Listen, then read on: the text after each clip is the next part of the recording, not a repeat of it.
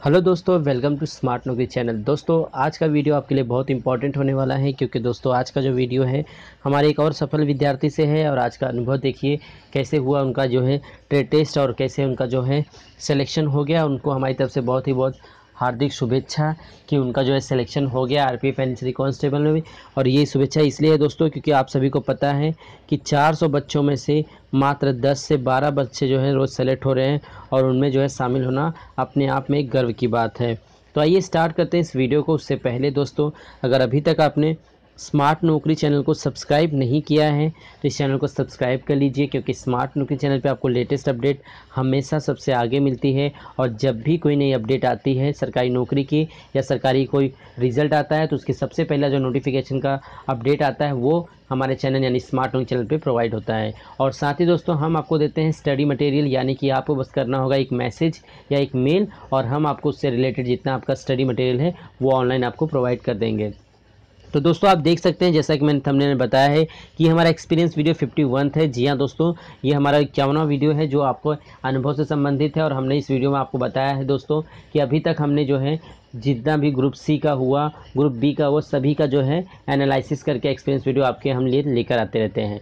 तो आज का वीडियो में हम बताएँगे दोस्तों, सबसे पहले मैं आपको बता दूँ इंपॉर्टेंट डॉक्यूमेंट्स जो आपको लेके जाना है, और वो है सबसे पहली चीज़, आपका एडमिट कार्ड एडमिट कार्ड हमेशा आपके साथ होना चाहिए, और उसमें ख़ास बात ये है कि उसको दो कॉपी होनी चाहिए दोस्तों, यानी टू कॉपी और ये मैं इसलिए कह रहा हूँ दोस्तों कि कभी भी हमारा जो है एक कॉपी अगर हमसे मिस हो जाता है तो हमारे पास एक बैकअप में होना चाहिए। तो आपका डॉक्यूमेंट्स तो हो गया नंबर दो पे बात कर लें तो आपको आईडी प्रूफ भी लेके जाना होगा। जी हाँ दोस्तों, ये तो लेके जाना होगा कंपलसरी और जिसमें होगा आपका आधार कार्ड। तो आधार कार्ड आपके पास होना अनिवार्य है दोस्तों, आधार कार्ड के बिना आपको जो एंट्री नहीं मिलेगी।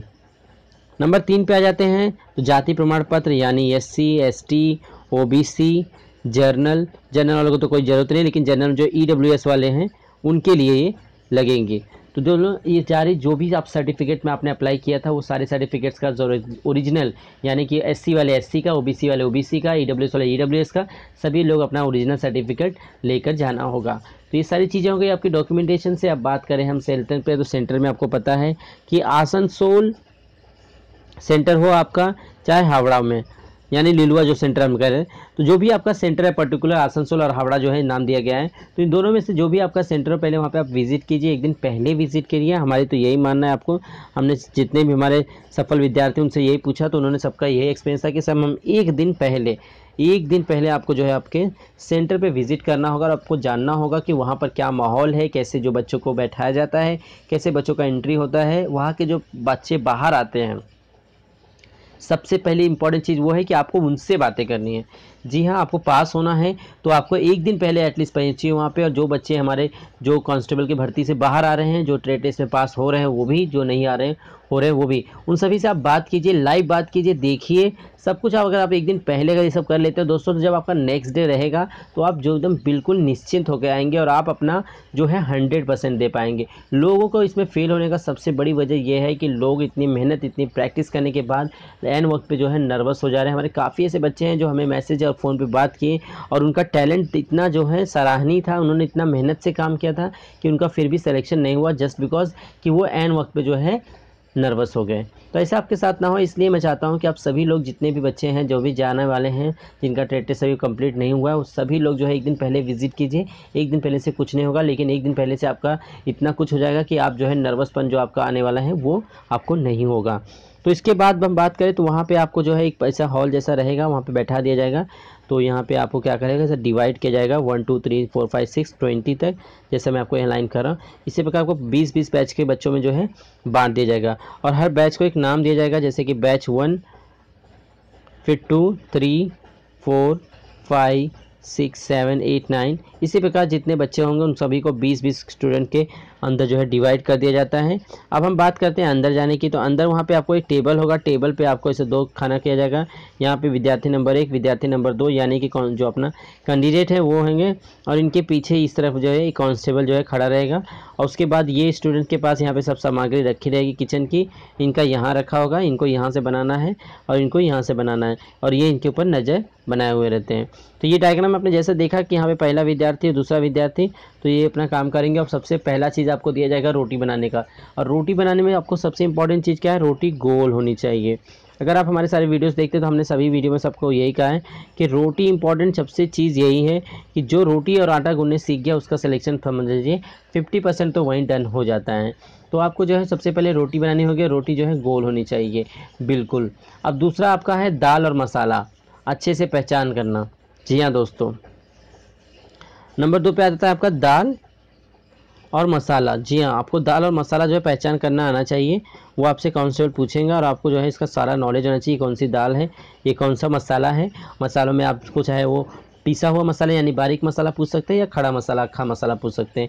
वॉट एवर ये उनके ऊपर डिपेंड करता है दोस्तों, लेकिन आपको तैयारी अपनी तरह से करना है। आपको दुकान पे जानी है, दुकान पे विज़िट कीजिए।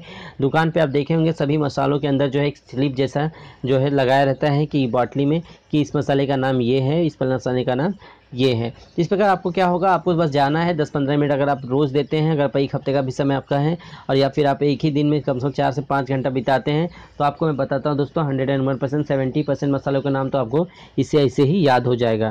तो ये सारी चीज़ें हो गई, उसके बाद हम बात करें तो आपको जो तीसरा काम दिया जाएगा, वो आपको सब्ज़ी काटना या सलाद काटना। ये डिपेंड करता है, जैसा उनका मन रहता है। तो अब सलाद काटने को दिया जाता है।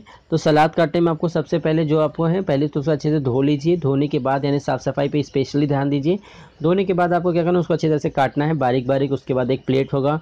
प्लेट में आपको जो है सजाना होगा। आप जितना अच्छा खूबसूरत सजा सकते हैं दोस्तों, उतना आपका अच्छा चांस रहेगा क्योंकि यहाँ पर जो है प्रेजेंटेशन पर मार्क्स ज़्यादा मिल रहे हैं। तो आप इस प्रकार जो है अच्छे से सजा लीजिए। सजाने के बाद जो है इसको कॉन्स्टेबल आपको जो आएँगे और चेक करेंगे किस प्रकार आपने काटा है, क्या उसका जो है सजाने की आपकी कला है। उसके बाद अगर आपको सब्ज़ी काटने को लिए दिया जाता है तो आपको सब्ज़ी में जैसे काटा जाता है, जैसे भिंडी हुआ, लौकी हुआ, बैगन हुआ, आलू हुआ, जैसे आपको पकाना है, उस हिसाब से आप काटिए। मतलब कच्चा पक्का देखिए कि आपको समय दिया जाएगा सब्ज़ी बटाने के लिए और उसको काटना है। तो आप बड़ा बड़ा मत काटिए, क्योंकि वो बड़ा बड़ा जो है पाई वो पकता नहीं है और पकता नहीं, कच्चा रहेगा तो आपको जो है कांस्टेबल वहाँ से ही भर्ती से बाहर कर देता है। तो यहाँ पे आपको यानी कि सबसे इंपॉर्टेंट चीज़ में अगर ये कहूँ इन शॉर्ट में तो आपको यहाँ पे सेकंड चांस नहीं मिलता। जिससे लाइफ हमें दूसरा चांस देने कहती है, लेकिन यहाँ पे सेकंड चांस बिल्कुल नहीं है। यानी आप रोटी बनाने में फेल हुआ तो ही बाहर, भाजी काटने में फेल हुआ तो भी बाहर। नंबर तीन पे अगर आपने साफ़ सफ़ाई में ध्यान दिया तो भी बाहर। मतलब आप एक भी गलती करते हैं और आप सीधा इस भर्ती से बाहर हो जाते हैं। तो जब आप दाल इसमें सब्ज़ी काट लेंगे तो उसके बाद आपको दाल या कोई अच्छी तरह से बनाना होगा। तो उसके बाद क्या होता है दोस्तों, आपको दाल बनाने के लिए दिया जाएगा, या फिर आपके चॉइस का कोई भी एक जो है, सब्ज़ी या फिर आप वेज नॉन वेज जो भी आपको आने को होता है, आपकी चॉइस। लेकिन दाल आपको कंपलसरी बनानी होगी दोस्तों, दाल तो आपको अच्छे से बनानी होगी, उसमें क्या क्या चीज़ें यूज़ कर जाती हैं सभी कुछ वहाँ रखा होगा। आप ये भी देखिए, जो चीज़ें जो अननेसेसरी है, यानी कि आपको पता है किचन पे आपको जो है ध्यान भटकाने के लिए, आपको फेल करने के लिए, यानी उनकी पूरी रणनीति होती है दोस्तों, वो सबसे बेस्ट टर्न को ढूंढ रहे हैं। तो ये उनका काम है, वो सभी कुछ रखे रहते हैं वहाँ पे, आपको ऐसा मत सोचिएगा कि आपको दाल बनाने के लिए दिया गया तो किचन पर सारी सामग्री सिर्फ़ दाल में ही यूज़ होगी। तो आपको ये पता होना चाहिए, दाल बनाने में क्या क्या सामग्री यूज़ होती है, नमक, हल्दी, तेल, जो भी आप डालते हैं दाल में बनाने के लिए आपने जो रेसिपी लिखी आए हैं, उसी रेसिपी के हिसाब से आप अपने कार्य को कीजिए। और दोस्तों, अगर आप हंड्रेड परसेंट इसी प्रकार आपने किया तो जैसे हमारे आज के स्टूडेंट्स का जो है सिलेक्शन हुआ सेम उसी प्रकार दोस्तों आपका भी सिलेक्शन हंड्रेड परसेंट हो जाएगा। तो उम्मीद करता हूँ दोस्तों जानकारी अच्छी लगी होगी वीडियो पसंद आया तो इस वीडियो को एक लाइक करना ना भूलें। साथ ही दोस्तों हमारे चैनल को सब्सक्राइब कर लीजिए, क्योंकि स्मार्ट न्यूज़ चैनल पर आपको लेटेस्ट अपडेट हमेशा सबसे आगे मिलती रहेगी।